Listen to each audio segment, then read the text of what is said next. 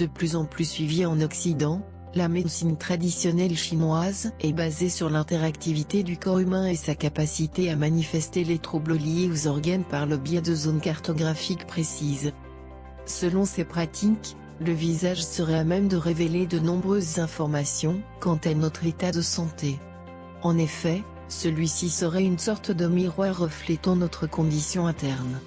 Les laboratoires MESPA nous apprennent à le décoder à travers un article sur le concept du face mapping acné, rougeur et irritation, le visage se munit de plusieurs armes pour vous faire passer des messages importants sur votre santé.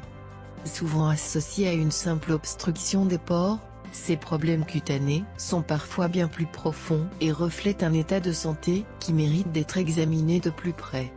À cet effet, voici ce que différents symptômes indiquent sur l'état de vos organes. 1. Nez, le cœur disgracieux et gênants au vu de leur position centrale sur le visage, les boutons qui apparaissent sur le nez reflètent souvent des troubles liés à un taux trop élevé de cholestérol, comme relayé par nos confrères du Cosmopolitan. Évitez les aliments riches en gras et privilégiez des ingrédients sains à l'action détoxifiante. 2. Front, l'intestin grêle et la vessie. Les problèmes digestifs peuvent être à l'origine d'éruptions cutanées au niveau du front. À cet effet, il est recommandé de maintenir une hydratation régulière et une alimentation saine.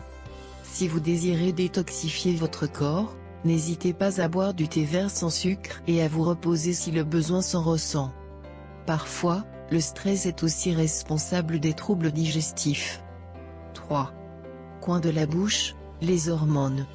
Souvent provoqués par des dérèglements hormonaux tels que l'apparition de règles, les boutons qui se manifestent au coin de la bouche et vers les maxillaires sont généralement inoffensifs.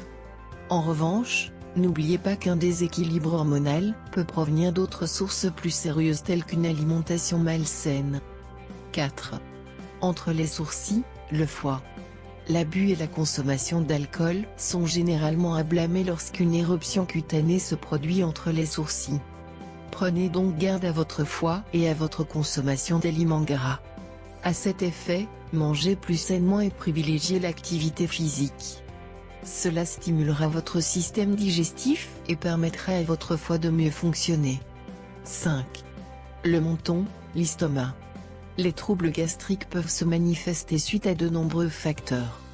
Manque de sommeil, stress régulier ou consommation d'aliments trop épicés, ceux-ci peuvent entraîner des maux d'estomac, que votre visage n'hésitera pas à vous transmettre sous forme d'éruption au niveau du menton. Pour pallier à ces problèmes, privilégiez une hygiène de vie saine et la consommation de fibres afin de faciliter votre transit intestinal. 6. Les tempes et les oreilles, les reins. Associés aux reins, les boutons qui se manifestent sur ces zones indiquent que votre alimentation contient probablement des quantités de sel trop importantes.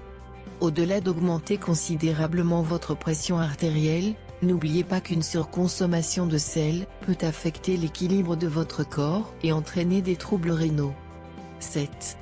Les joues, les poumons.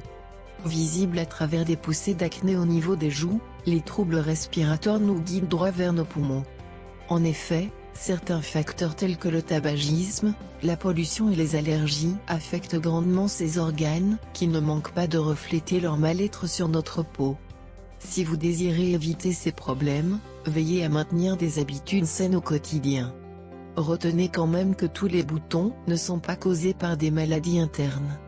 D'autres facteurs entrent en jeu, notamment la présence de bactéries autour de vous ou encore l'usage de produits non adaptés pour votre visage. Par ailleurs, les éruptions cutanées ne sont pas les premiers symptômes d'une maladie et ne devraient donc pas constituer votre unique référence avant de consulter un médecin. C'est fini pour ce tuto, n'oubliez pas de mettre un j'aime, partager ma vidéo sur les réseaux sociaux, ou de s'abonner à ma chaîne.